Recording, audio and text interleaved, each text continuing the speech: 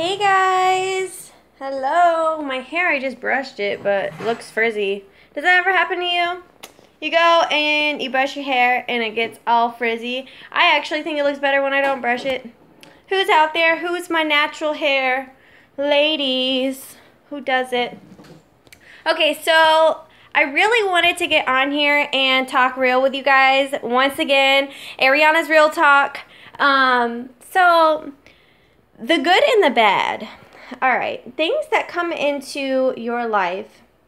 The bad stuff usually comes in the way of looking like good stuff, okay? Just like the devil is disguised as a regular person, or you've also heard as an angel. Um, so the bad stuff can look real good or feel real good in the moment and end up hitting you in the butt. Okay, the good stuff is usually what you struggle through and seems so bad, but once you get to the other side, it is so worth it. And you don't see it. You don't see it. There's not a label on it. It doesn't say good or bad. You don't know. We're just living, you know, and we have to go through the struggles to realize that there is good. And we have to also go through the good struggles to find out that it is bad. We have lessons in life. Okay? And we have to take that in. We have to appreciate everything we go through. We have to know that it is a lesson in time. So, whether it seems so bad right now, if it is not something that is worth anything to you right now, it may be worth the world later. And who knows?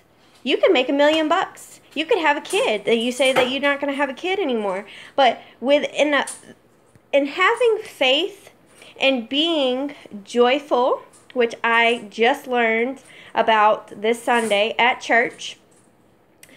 Being joyful is completely different than being happy. Happiness is only the pursuit of happiness is only a moment in time. It's like saying, I want to go party. I feel the urge to go party. Let's go have a good time. Then you go party and you drink too much, get into a fight, break out, blackout, go lashing on people that love you, that kind of thing, then it becomes your worst nightmare. But it seemed good. It seems you had such an urge to go have some fun, but then you just destroyed everything. Okay? Or let's say you seem like you have nothing in your pocket, but someone needs help. You give them a two dollars, and you're like, now what do I what do I got? I got nothing. But who's to say that that person won't come back and give you 50 bucks because you gave them that $2 and they were able to make something happen with $2? So, you know, it all works in mysterious ways. We are not meant to understand it.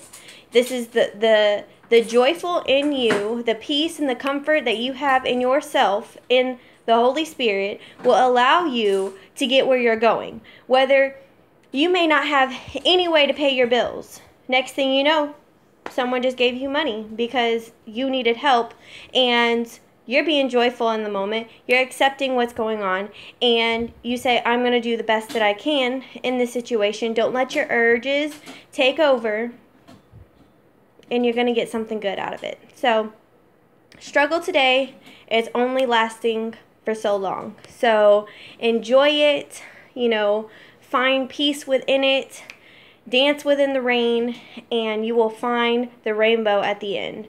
I wanted to talk to you guys. I have been struggling with my body, which was my fault, because I had the urge to have some steak and potatoes and wine and enjoy myself. And every bit of that, even the coffee the next morning, has now triggered a three day hold on me I have not been able to do much. I have not had that much energy. Have not had the mo- uh, the motivation to get things done. And finally today it's starting to come back to me. I have also took some of my oil, which has helped me a lot, especially not being able to have coffee. So that has helped a lot. And I have stuff to do today. Um, you know, my son didn't take a nap, but to say that if he would have took a nap, who knows where I would have been after that. There is a reason for everything. So, um, you know, just accept anything that comes your way and know that it is going to be better. Don't let your urges take over, okay? Don't let it don't let it take it over. Just find peace within it, pray through it, and know that it's going to be a rainbow on the other side. I love you guys. I hope you are enjoying this beautiful day, and I hope all of you um, loved ones that have people that were either lost their life, gave it all, or is still fighting for our country. I want to really pour my heart out to you guys and keep you in my prayers. So I will be keeping you in mind. I love you all. Have a wonderful day. Talk to you soon. Bye.